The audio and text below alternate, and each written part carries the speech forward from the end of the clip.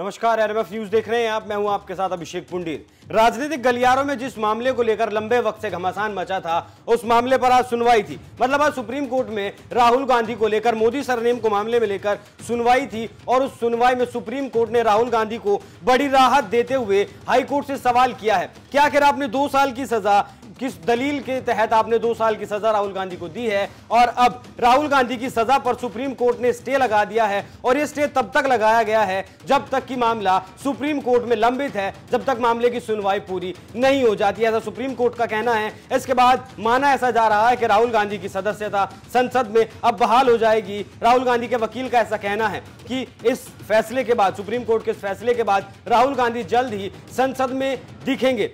Most probably वो सोमवार को होने वाली सदन की कार्रवाई में शामिल हो सकते हैं। अगर सोमवार को होने वाली कार्रवाई में राहुल गांधी शामिल नहीं होते हैं तो मंगलवार को सदन में राहुल गांधी पेश होंगे। सुप्रीम कोर्ट का कहना है कि राहुल गांधी की दो सिद्धि वाली याचिका जब तक सुप्रीम कोर्ट में लंबित है, तब तक उनकी सजा पर रोक लगाई जाती है। माना ऐसा जा रहा है कि अब राहुल गांधी संसद के मानसून सत्र में जल्द ही आप देखने को मिलेंगे। सुप्रीम कोर्ट के फैसले के बाद इसकी कॉपी लोकसभा स्पीकर के सचिवालय जाएगी, इसके बाद लोकसभा स्पीकर राहुल गांधी की सदस्यता पर फैसला से ले सकते हैं। माना ऐसा जा रहा है कि राहुल गांधी के मानसून सत्र में ही भाग लेने की पूरी उम्मीद है। गौरतलब है कि चुनाव आयोग ने वायनाड सीट को उस वक्त खाली रिक्त घोषित कर दिया गया था, जब राहुल गांधी को दो साल की सजा सुनाई गई थी।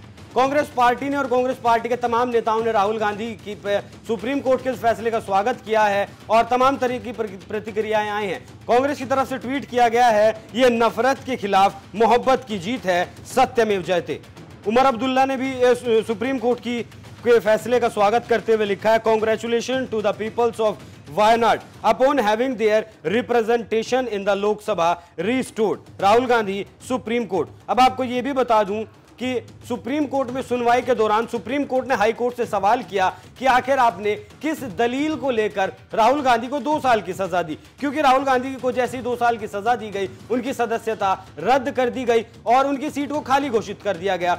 जिससे कि उनका जो लोकसभा क्षेत्र है वायनाड का, उस पर बहुत ज़्यादा फ़र्क पड़ता है। उस सीट पर खाली होने से वहाँ के विकास कार्यों में और तमाम कार्यों में इस चीज़ का फ़र्क पड़ता है। तो सुप्रीम कोर्ट का यही सवाल था हाईकोर्ट से कि आपने किस दलील पर आखिर क्यों राहुल गांधी को अधिकतम सजा देने का जो प्रावधान है, उसके तहत ही सजा दी। क्या यह सजा कम नहीं दी जा सकती थी, जिससे कि राहुल गांधी को सजा भी मिलती या वह और उनकी सदस्यता भी ना जाती? सुप्रीम कोर्ट के इस फैसले के बाद कांग्रेस नेताओं ने राहुल गांधी की सजा पर रोक का स्वागत करते हुए बीजेपी पर तीखा हमला बोला है। राहुल गांधी के जीजा रॉबर्ट वाड्रा ने इसका स्वागत करते हुए कहा कि राहुल को परेशान करने की कोशिश की गई थी, लेकिन हम इस फैसले का स्वागत करते हैं। उधर कांग्रेस नेता इमरान प्रतापगढ़ी ने कहा कि उन्हें उम्मीद है कि राहुल गांधी संसद के मानसून सत्र में हिस्सा लेंगे। राहुल गांधी और कांग्रेस पार्टी के लिए सुप्रीम कोर्ट का यह फैसला काफ़ी राहत भरा है। क्योंकि अगर राहुल गांधी की दो साल की सजा बरकरार रहती तो दो साल की वो सजा काटते और उसके बाद छह साल तक वो किसी भी चुनाव को लड़ने के लिए अयोग्य थे। इसलिए राहुल गांधी की राजनीति राज, राहुल गांधी सक्रिय तौर पर राजनीति से आठ साल के लिए दूरी बना लेते और आठ साल राजनीति में एक लंबा वक्त होता है। इसीलिए कांग्रेस नेता मिठाइयाँ बांट रहे हैं अपनी तरह तरह से तमाम तरीकों से अपनी जो है खुशी का इजहार कर रहे हैं और सुप्रीम कोर्ट के फैसले का स्वागत कर रहे हैं। आप राहुल गांधी सुप्रीम कोर्ट के, राहुल गांधी के मामले में सुप्रीम कोर्ट के इस फैसले पर क्या राय रखते हैं? अपनी राय हमें कमेंट कर ज़रूर बताएँ। नमस्कार।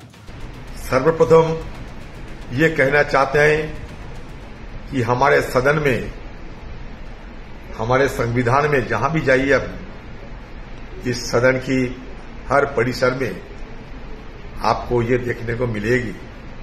सत्यमेव जयते। राहुल गांधी जी के खिलाफ जो घिनौना साजिश किए रची गई थी, आज साबित हुई है कि ये साजिश नाकाम हो चुके हैं। आज सुबह प्रार्थना किए थे हम सब कि राहुल गांधी जी की उनके खिलाफ जो झूठे इल्ज़ाम लगाया गया, उससे उन्हें राहत मिले। हमारे न्यायालय ने राहुल गांधी जी की राहत देते हुए सत्य साबित कर दिए हैं कि अभी भी